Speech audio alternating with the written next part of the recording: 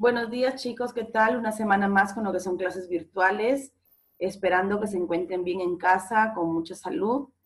Hoy día nos toca ver lo que es estadística. Vamos a centrarnos, vamos a ver lo que son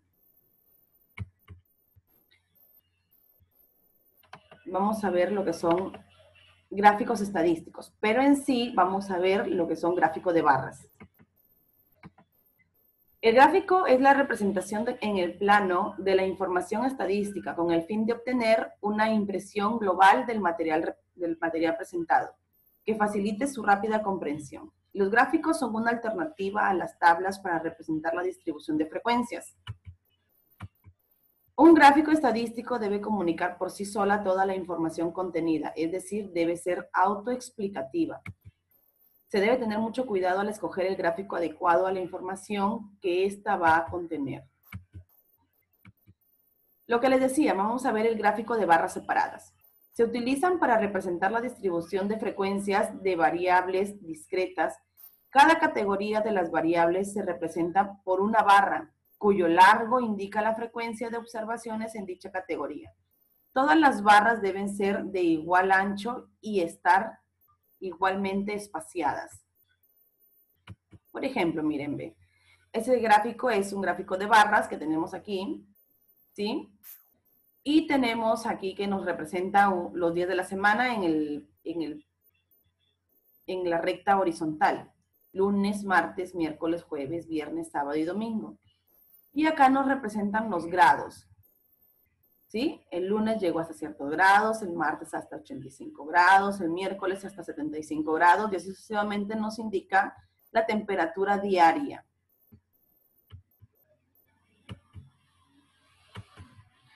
Pasos para realizar un gráfico de barras verticales. Primer paso, debes tener en cuenta lo siguiente, dice. Primer paso, se dibujan los ejes cartesianos, es decir, el eje X, así como el eje Y, lo que hemos visto, ¿sí? Paso 2. En el extremo del eje X se debe colocar el nombre de la variable estadística. Paso 3. En el eje horizontal se deben ubicar las categorías de las variables estadísticas, lo que estamos diciendo. En la parte superior del eje Y se coloca el nombre a la que se refiere la frecuencia absoluta. Acuérdense, en el eje Y van las frecuencias absolutas.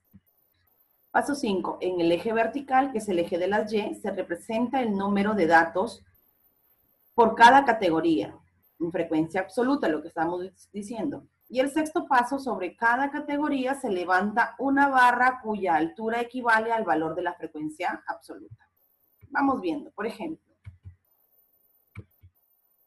Dice, en una academia deportiva se realizó una encuesta a un grupo de personas respecto al deporte que practican.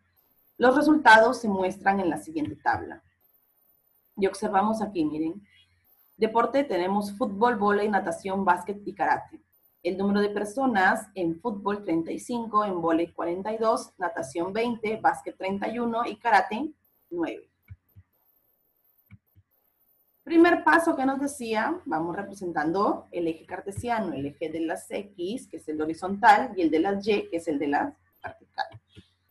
Vamos el paso 2. ¿Qué nos decía el paso 2? Que coloquemos en el eje de las Y, en las eje de las X en el extremo, a la categoría lo que vamos a, en este caso son deportes, ¿verdad? La variable que vamos a ver, deportes.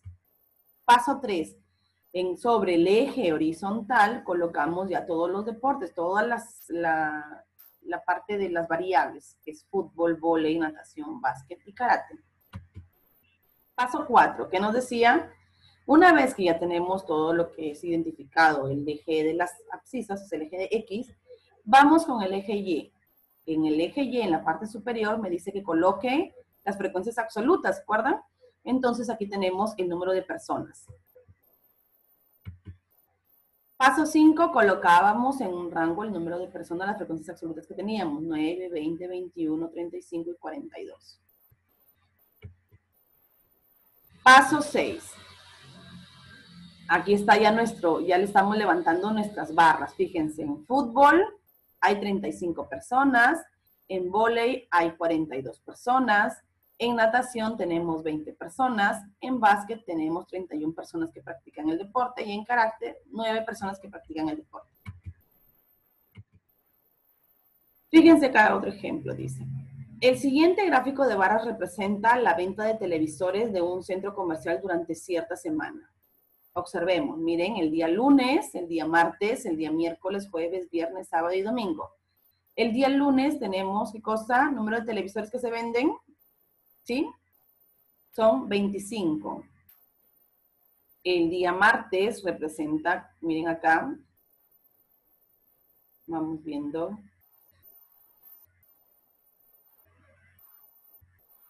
Fíjense, el día martes tenemos aquí, ¿qué cosa? 10 personas. El día miércoles tengo 15 personas. El día jueves tengo 5, perdón, 5 televisores que vendo. Y el día viernes tengo 30 televisores vendidos. El día sábado tengo 20 televisores que se han vendido. El día domingo tengo 15 televisores. Vamos viendo.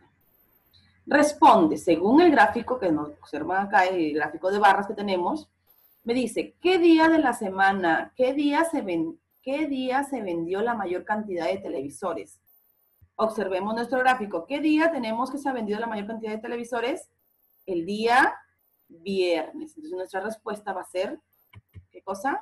Viernes. Ahí está. Segunda pregunta. ¿Qué día se vendió la menor cantidad de televisores? ¿Dónde tenemos la menor cantidad de televisores? Es supuestamente la barra más pequeña, ¿verdad? La barra más pequeña es el día jueves, que se vendieron cinco televisores.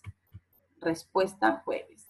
¿Cuántos televisores más se vendieron el día sábado respecto del martes? Observemos el día sábado. ¿Cuántos se vendieron? El día sábado se vendieron 20 televisores. Y el día martes, el día martes se vendieron 10 televisores. ¿Qué tenemos que hacer cuando me dicen cuántos más? Vamos a tener que restar. ¿Y qué vamos a restar? 20 menos 10, 20 de televisores que se vendieron el sábado menos 10 televisores que se vendieron el martes. ¿Cuánto nos da? 10. ¿Cuántos televisores en total se vendieron durante los días viernes, sábado y domingo? El viernes, ¿cuándo se vendió? 30 televisores. El sábado, 20 televisores. Observemos en forma horizontal.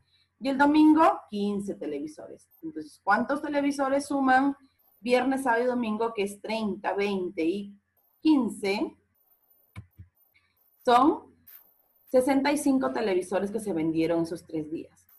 ¿Cuánto dinero, se ¿Cuánto dinero recaudó el centro comercial durante dicha semana si el precio de cada televisor es 850 soles?